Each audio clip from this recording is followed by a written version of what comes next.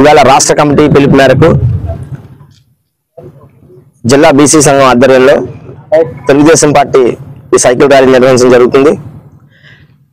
ఈ cycle rally నిర్వహించడం ద్వారా తెలుగుదేశం పార్టీ శ్రేణులన్నీ తమ నిరసన వ్యక్తం చేస్తూ చంద్రబాబు నాయుడు గారికి మద్దతుగా రేపు కోర్టులో పిటిషన్ క్యాష్ చేసుకుని ఆయన బయటకు వస్తారని ఆశిస్తూ ఈ సైకిల్ మద్దతు ద్వారా ఆయన సంఘటితమైన మద్దతును ప్రకటించేందుకు బీసీ సంఘం ఆధ్వర్యంలో జరుగుతుంది. రాష్ట్ర ప్రజలందరూ కూడా తీవ్రంగా ఖండిస్తున్న విషయాన్ని ప్రభుత్వం పట్టించుకోవట్లేదు.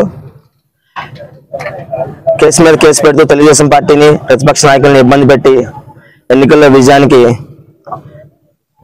కుట్ర పన్నే రాజకీయం చేస్తుంది. ప్రజాస్వామ్యాన్ని పరిరక్షించే ప్రజలందరూ కూడా ఈ విధంగా కక్షపూర్తి రాజకీయాన్ని ఖండిస్తూ తెలుగుదేశం పార్టీకి మద్దతుగా నిలబడాలని చంద్రబాబు నాయుడు గారికి సంఘటితంగా సంఘీభావంగా ఉండాలని ఈ ర్యాలీ జయప్రదం చేయడానికి వచ్చిన తెలుగుదేశం పార్టీ సేనానికి కృతజ్ఞతలు తెలుపుతూ జై తెలుగుదేశం జై చంద్రబాబు.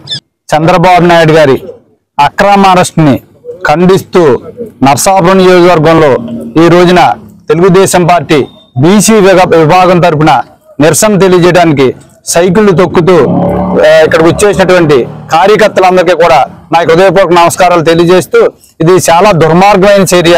చంద్రబాబు నాయుడు గారిని అక్రమ కేసులు ఇరికించడం అనేది పాపం ఇవాళ ఆరోగ్యం కూడా పాడైపోయి హాస్పిటల్లో అనేకమైన ఇబ్బందులు పడతా ఉంటే ఈ జగన్మోహన్ రెడ్డికి ఏమీ కూడా పట్టనట్టుగా ముసిముసి నవ్వులు నవ్వుతూ చంద్రబాబు నాయుడు గారు బాధపడతా ఉంటే ఇక్కడ నవ్వుతూ ఇతను కాలక్షేపం చేస్తా ఉన్నాడు.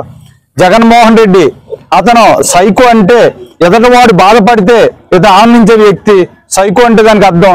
ఇవాళ అదే మన ఆంధ్ర రాష్ట్రంలో జరుగుతూ ఉంది. ఆంధ్ర రాష్ట్రంలో రోజు ఏదో పక్కనే ఏదో విధ్వంసం ఏదో తగు ఉంటేనే కానీ ప్రభుత్వానికి నిద్ర పట్టదు. ఆ రకంగా ఇవాళ ప్రతిపక్ష నాయకుడిని జైల్లో పెట్టి వీళ్ళు ఆనందింతా ఉన్నారు. కానీ ప్రజలందరూ కూడా ప్రతిదీ అర్థం చేసుకుంటూ ఉన్నారు.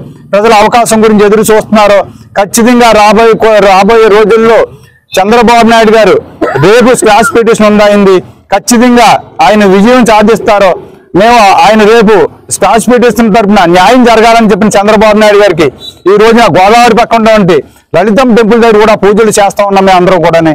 కాబట్టి ఖచ్చితంగా అమ్మవారి ఆశీస్సులు ఆయనకు ఉంటాయని చెప్పని రేపు స్క్రాచ్ పిటిషన్లో ఆయన విజయం సాధించి ఆయన బయటకు వచ్చి ప్రజాక్షేత్రంలో ప్రజల తరపున పోరాటం చేస్తారని చెప్పని చంద్రబాబు నాయుడు గారు మేము అందరూ కూడా మద్దతుగా నిలబడతామని చెప్పని కోరుకుంటూ జై చంద్రబాబు నాయుడు గారు జై తెలుగుదేశం. మరిన్ని వీడియోస్ కోసం ఛానల్ సబ్స్క్రైబ్ చేయండి. లేటెస్ట్ అప్డేట్స్ కోసం వాట్సాప్ ఛానల్ని ఫాలో చేయండి. అండ్ లింక్ డిస్క్రిప్షన్లో ఉంది.